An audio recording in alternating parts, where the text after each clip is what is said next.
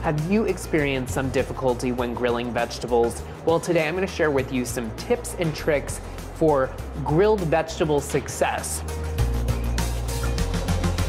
To get started, I think the most important part would be in preparing your vegetables. So, if you're going to grill zucchini or summer squash, cut them in bigger pieces on an extreme bias. So what that does is it gives you more surface area and these are less likely to fall through the grates. You'll also get some really great grill marks on your zucchini. Peppers, don't cut them into too small pieces. These are quarter peppers and I leave the stem on. Makes it really easy to grill. Again, it's a bigger piece, more surface area, less likely to fall through. Onions. A lot of people, they like to grill onions and they cut them into slices, but that's really a big problem because they fall apart into pieces. Use the onion to your advantage here. Keep the root end on the onion and cut it into quarters. This way it will stay together on the grill. It won't fall apart into pieces like those rounds that you usually cut. Kale Might be an item that you didn't know that you could grill, but it's really easy to grill, especially if you leave it on the stalk. It'll stay in one piece. It won't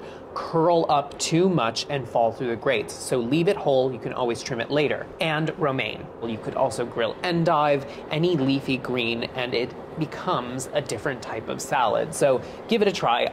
Asparagus, it's very popular, but does tend to fall through the grates. So a really great way to ensure that that doesn't happen is to skewer them on skewers. I like to double skewer so they're easy to flip all you do is thread them on, and I'm gonna just give this a little bit of oil. Now I'm using a safflower oil here today because that's a high heat oil. Season with a little bit of salt, pepper. If you wanted to use a spice blend, of course you could do that.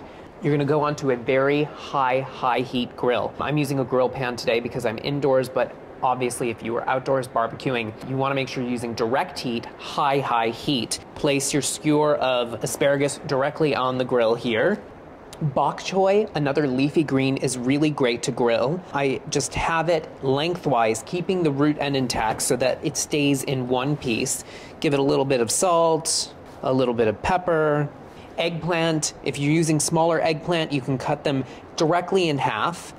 If you're using a larger eggplant, you can cut them in long strips. It makes it very easy to grill when you have a longer, thicker piece of eggplant. So a little bit of salt and pepper here right onto the grill. Your bok choy, again, right onto the grill. One of my favorite things to do is to grill cherry tomatoes. Give them a little bit of oil, just like everything else, right onto the grill. We'll nestle them in right there. And another item that maybe you didn't know that you could grill potatoes. Grilling them raw, though, can be problematic because the outside will get too charred and the inside will not be cooked. So if you parboil them, so cook them briefly, cut them in half, give them a little bit of safflower oil, salt and pepper, and they go right on the grill. And this way they will cook nice and evenly and they won't get too charred. These will cook for a few minutes and you'll see just how beautiful and easy it is to do. So as you can see, the grilled vegetables, they're done. They're perfectly grilled. Everything has held up well. The potatoes have nice grill marks, bok choy, and of course, the grilled asparagus here. You can just easily slide it right off of the skewers and they're in one piece. None of them have fallen through the grates. I mean, I'm using a grill pan, but none of them will fall through the grates. Now, with these tips and tricks, you will have perfectly grilled vegetables all summer long. Enjoy, guys.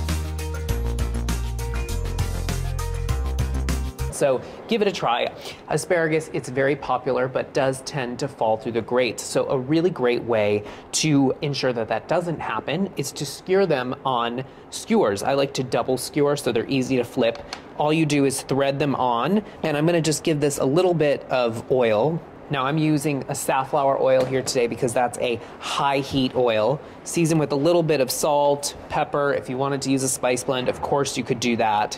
You're gonna go onto a very high, high heat grill. I'm using a grill pan today because I'm indoors, but Obviously, if you are outdoors barbecuing, you wanna make sure you're using direct heat, high, high heat. Place your skewer of asparagus directly on the grill. Have you experienced some difficulty when grilling vegetables? Well, today I'm gonna share with you some tips and tricks for grilled vegetable success.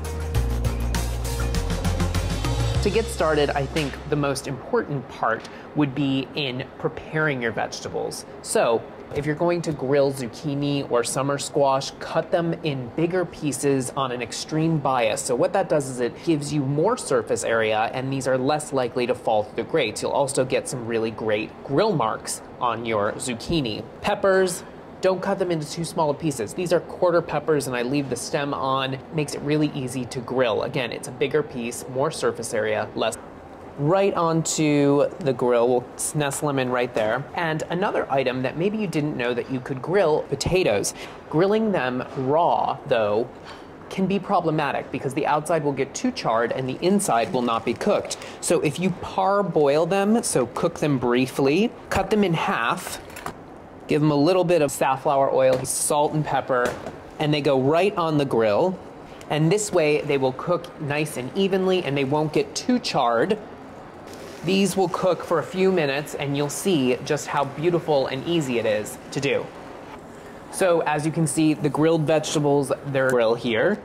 Bok choy, another leafy green, is really great to grill. I just have it lengthwise, keeping the root end intact so that it stays in one piece. Give it a little bit of salt, a little bit of pepper. Eggplant, if you're using smaller eggplant, you can cut them directly in half. If you're using a larger eggplant, you can cut them in long strips. It makes it very easy to grill when you have a longer, thicker piece of eggplant. So a little bit of salt and pepper here right onto the grill.